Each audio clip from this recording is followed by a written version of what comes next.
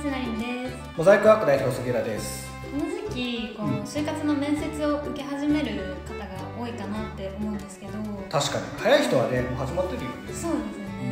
それで面接受けて、ん。あちょっとダメだったかもなとか逆にあちょっとこの面接受かったかもしれないみたいな、はい。いろいろ感じるうん。ことはあると思うんですけど実際なんか面接受けた時に合格フラグっぽいもの面接やってる時だよね。あはいそうです。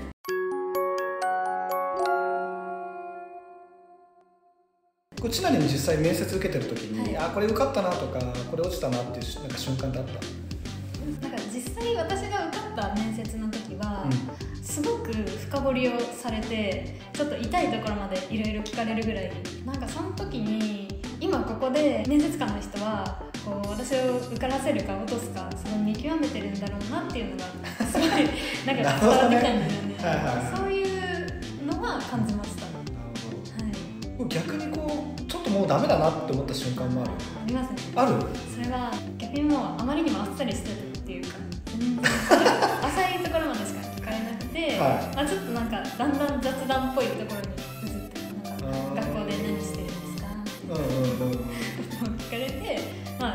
あっさり終わってあっさり落ちましたなんならお茶飲みながらその会話だよね。そうなってくると。なるほどね。これいろんなデータいろんな調査があるんだけれどもあの、まあ、ある調査によればね面接官が合否判定をするのは、まあ、早いと23分ぐらい。まあ大体5分以内ぐらいにはある種こう合否の判断を、まあ、1回してしまうみたいなところがやっぱりあるんだよね。まあどうしてもやっぱりこう面接官はある種のこう印象でどうしても引っ張られていってしまうところあるのできちんとしたその会話の中であのフラグ立てをしていくっていうよりも割とこうファーストインプレッションにかなり近いところである程度こう判断をしてしまうケースもどうしてもあるんだけれども、まあ、ただね意外かもしれないですけど合格する面接というのは今シナリンが言ったように割とこうきっちりしつこくね聞かれるケースがやっぱ多いと思います。やっぱり面接官もしっかりとその人を例えば次の面接一次面接だったら二次面接官にこの人のどういうところが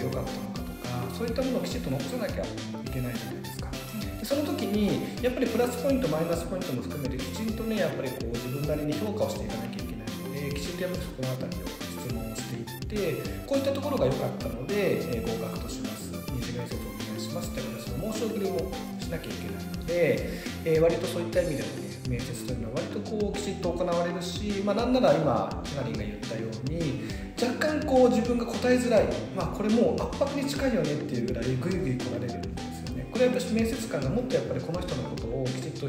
理解しようっていうことが現れたと思うので面接される側としてはねあなんかちょっと圧迫気味だなと思わずにそれこそが本当にあのいい面接というかあの合格にやっぱりつながっていく面接だと思うのでしっかり受け答えをしていただきたいなと思うんですけど逆にやっぱりこうちょっと厳しいなというケースって一つはねもうあちょっと難しいなと思った段階で面接官が切り替えていくのが目の前のやっぱりこう候補者の人学生を、まあ、気持ちよく返したいっていうのもあるわけですよ。特に今後ね何かしらやっぱりこの消費者としてもしくはお客様としてつながる可能性もゼロじゃないわけじゃないですか。となった時にやっぱりねあのある程度この悪い印象でお返しするよりもあのあの会社を受けあの不合格だったけれどもよかったなと思ってもらう方がいいじゃないですか。はい。なので、えーある種やっぱりこう話を少しこう盛り上げていったりだとかある種雑談的な話をねどうしても振っていきながら、まあ、コミュニケーションをしっかりとって、えーお返しすると。あのお返りいただくっていうこともあるのでなので意外とこう楽しかった面接とか面白かった面接とかなんか面接官とすごいこういろんな会話ができたなっていう面接ほど割と落ちちゃうケースがあるのでもうまさに千奈がさっき言ったようにあなんかちょっと雑談っぽくなってきたぞってなった段階で、まあ、若干そこはフラグが立っちゃってるかなっていうのはあるかもしれないですね。そこからの切り返しは可能です巻き返しでしょ巻き返し。これねまあまあ難しいです。こ う最後のね例えば何か質問ありますかっていうところで巻き返そうとする時もあるじゃない。なんか感じるじゃない。あちょっとまずいぞと。でなんかこうちょっと最後何かね爪痕残さなきゃということで質問、ね、ありますかって言われてそこでねなんかこう大冗談の質問をしちゃうとまた絡まっわってするわけですよ。例えば御社の将来のビジョンって何ですか？みたいな。なんかちょっとこう意識高くいかなきゃみたいな形で大冗談でいこうとすると余計こう面接官からするといやなんかその質問してどうするのよっていう絡まっちゃったりもするんですよね。なんかそれよりも自分自身が例えば質問ではないけれども自分自身が今の面接でちょっとあの言い足りなかったことがあるのでぜひお伝えさせてくださいということで例えばその会社に思いだとかその会社にやっぱ自分がどれだけ入りたいのかみたいなことをある種こうきちんと述べるっていうのはもしかしたら刺さるかもしれないその一部の望みにかけるっていうのもありかもしれないですね。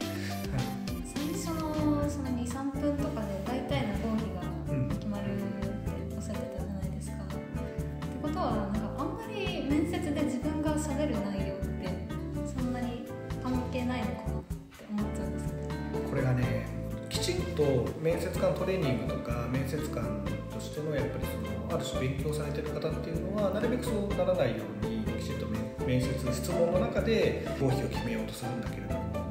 あの基本的に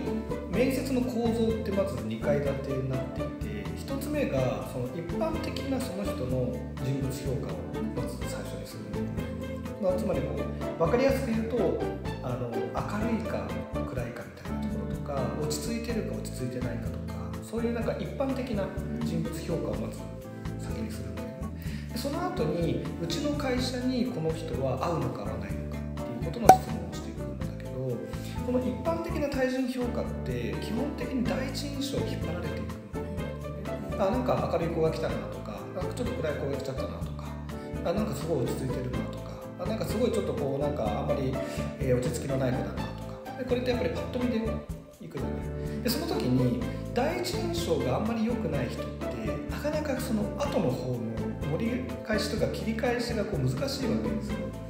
あでそこでやっぱり一回不合格フラグっぽいのが立っちゃうとちょっとなかなか挽回できずにずっと終わっちゃうで第一印象がいいとあなんかこの子いいじゃんということでちょっとこう合格フラグっぽいものがこうピコーンと立ち始めるわけですよ。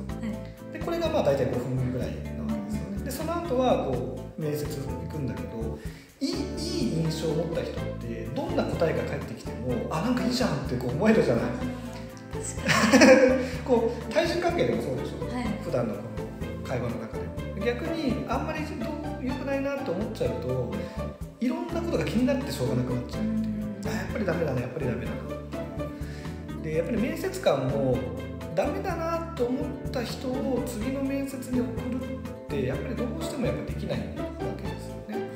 ってなってくるとまあちょっと不合格かなっていうふうになっちゃう。だからやっぱり最初のこの一般的なやっぱりこの対人評価というか対この人物評価のところでやっぱりこう第一印象に引っ張られた状態でフラグが立っちゃってでそのフラグが後からあんまりこう変わらずに動いていってしまうっていうのが今のやっぱり面接の流れなんだよね。